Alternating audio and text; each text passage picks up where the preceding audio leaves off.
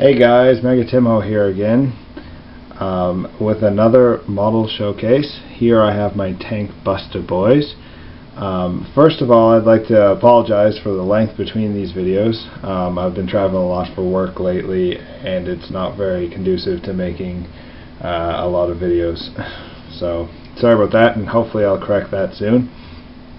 Anyway, uh, I painted these guys a little while ago, some a little longer than others. Uh, of course, we have the Nob um, from the Tank Buster boys, and then we have uh, the guy with the tank hammer. These guys are the old uh, five guys from the metal box set. Um, oops. Who, uh, if anybody's dealt with metal, um, it does. I really hate using it. And then three guys with just rocket launchers. I'll bring them up so I can show them off a bit.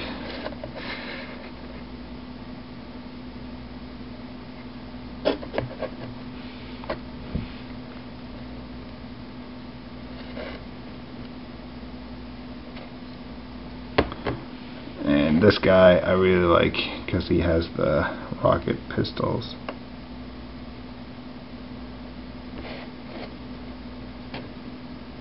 Tank treads on his back. Anyway, uh, these guys I really like uh, playing around with. I don't know if they're too competitive or not, but uh, I'd like to put. I think I'm going to put together some more, um, but I'm just going to use regular boys uh, with rocket launchers because I'm not paying uh, whatever it is, 40 bucks or 50 bucks for uh, five guys.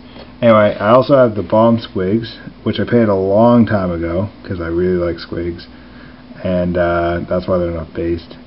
But anyway, um, I have this really bad looking yellow one.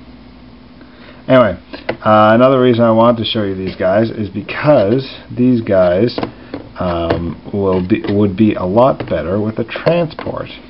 And if you guys remember uh, one of my videos before, I just finished my looted wagon uh, that was an entry for the big winter competition. But I've made the Tank Busters a special piece um, just in case they want to use this as a troop transport. So I got to take off the big gun if I want to use this as a troop transport.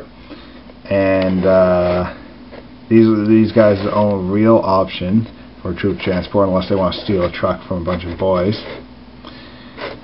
and uh, I I didn't think this looked good enough without something on the top so I made uh, uh, one for more rocket launchers as it fit with the theme of the Tank Buster boys. But uh, it was kinda overkill looking but I like it.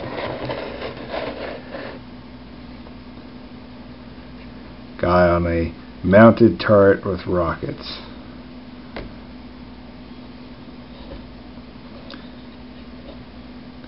Anyway I have lots of those. As I mentioned before, I have lots of those Deffkoptas, so I can afford to cut a couple of them up and make things out of them.